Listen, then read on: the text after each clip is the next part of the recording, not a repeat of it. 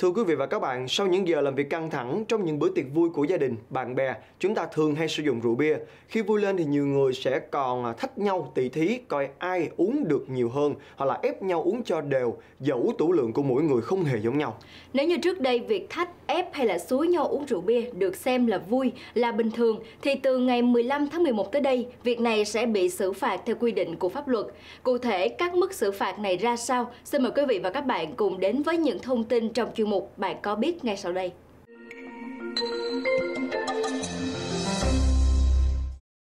Thưa quý vị, từ ngày 15 tháng 11 tới đây, theo Nghị định 117 trên 2020 thay thế Nghị định 176 trên 2013 của Chính phủ quy định xử phạt vi phạm hành chính trong lĩnh vực y tế sẽ phạt tiền từ 500.000 đồng đến 1 triệu đồng đối với hành vi xúi dục, kích động, lôi kéo người khác uống rượu bia, phạt tiền từ 1 đến 3 triệu đồng đối với hành vi ép buộc người khác uống rượu bia. Theo đó, tại Điều 30 quy định như sau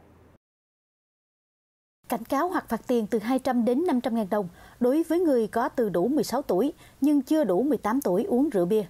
Phạt tiền từ 500 ngàn đồng đến 1 triệu đồng đối với một trong các hành vi sau. Uống rượu bia tại địa điểm không được uống rượu bia như cơ sở y tế, cơ sở giáo dục trong thời gian giảng dạy, học tập, làm việc,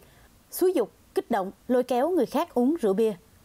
Phạt tiền từ 1 đến 3 triệu đồng đối với các hành vi uống rượu bia ngay trước trong giờ làm việc học tập và nghỉ giữa giờ làm việc học tập, ép buộc người khác uống rượu bia. Phạt tiền từ 5 đến 10 triệu đồng nếu bán rượu bia tại các điểm không được bán rượu bia. Mức phạt có thể lên đến 40 triệu đồng đối với hành vi quảng cáo rượu có độ cồn từ 5,5 độ đến dưới 15 độ và bia có độ cồn từ 5,5 độ trong các chương trình hoạt động văn hóa, sân khấu, điện ảnh, thể thao.